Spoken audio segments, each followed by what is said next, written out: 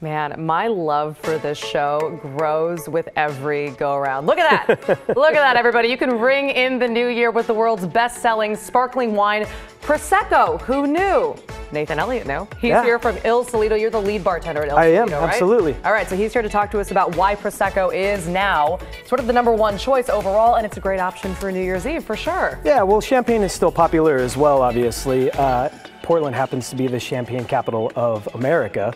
Um, What we have- Portland? Yeah, I mean, we got to go big in every opportunity we can here. Yeah, we drink But- quite a bit here. Yeah, well, every day. Uh, but with um, Prosecco, it's a little bit lighter, maybe um, not as intense sometimes for some people, and they really like it. And at Il Solito, not only do we like to pour a glass of it, we also like to make cocktails out of it. So um, we get, you know, have a little bit of fun behind the bar as well. Okay, it's really interesting. And Yeah. we're just saying, and I think, I hope, I think most people know this, or at least I thought I had heard it, and you just confirmed it, that Yeah. the difference between prosecco and champagne is what? It's regional. Uh, Just where it's from. Yeah, Prosecco is going to be from Northeast Italy, Champagne from France. So, um, and there's a lot of other different sparkling wines that exist out there as well. Some from America, some from Spain, such as Cava. Uh, but like I said, you know, Il Solito, we try to keep it Italian. and why do you think it's surpassing champagne? Um, I think some of it could be cost. Uh, Prosecco is Yeah. a little bit easier to get into as far as price wise. Uh, even though Prosecco is the number one selling uh, as far as units, uh, Champagne is a little more expensive. So they actually bring in more money uh, overall, even though they don't sell as many units. It's so sneaky. Yeah, yeah, I know. All right, We'll right, figure it out. interesting. Well, I don't know if you know this, but our staffers often join for the last segment,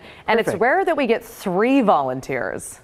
But we have alcohol here today. Yeah, And exactly. So everybody was just like apparently raising their hands into the newsroom. Guys, do you want to come in here? and then we'll get into. We were of the- shamed into it. Yes, we were we were. shamed You know into what, I'll it. take whatever you got. Yeah, I'll take yeah. whatever you got. and Yeah. everything. Yeah. absolutely. So we have two cocktails here. Oops. What are these? And I'll let two of them choose these, and then we'll make a third. So these are there are so many different sparkling cocktails that exist out there, but a couple of our favorites. Uh, this is the Negroni Sbagliato, or essentially just a sparkling Negroni. So if you like a Negroni to begin with, this is perfect for you. Um, it's going to be gin, a little vermouth, Campari, and we're going to top that with, uh, in this case, prosecco.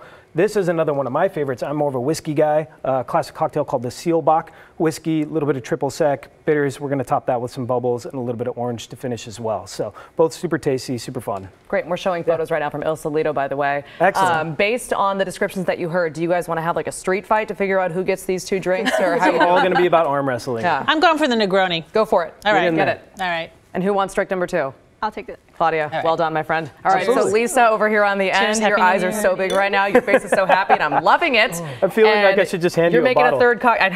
Yeah, absolutely. we don't have to talk about that. No, uh, we're Yeah. making a third cocktail for. Yeah. What are we gonna make? Uh, so this is going to be called the Barra di Giorno. It's actually a cocktail that's on our brunch menu at Il Solito. And I'll have you start 'cause we're yeah, running a little low on beautiful. time. Go right ahead. Absolutely. So a little bit of Aperol there for you. Cool. A little bit of grapefruit juice. Oh my goodness, Lisa, I'm so And jealous this is of kind of the key component. We make a house-made limoncello, and you're not going to be able to get it like this anywhere else in the city. So a little bit of ice. Going to give that a quick shake. Oh, did you see that? That was so effortless. So jealous of his Many, skills. many years of practice, right? Top this off. We're going to hit some bubbles on there, and then you'll have a nice beer di Giorno to enjoy. God, the color's so beautiful. Oh, that's pretty. Yeah. You know what's fun about this is that Lisa and I actually share a birthday, and our birthday is coming up, and so this can be like an early celebration. It looks like a birthday cake, to be honest with There you. you go. Yeah. Cheering All is right. caring. Let's pass that over There to you Lisa here. Il Solito, I'm assuming a great place to Cheers. celebrate New Year's Eve. Absolutely. I'm going to pass that to her.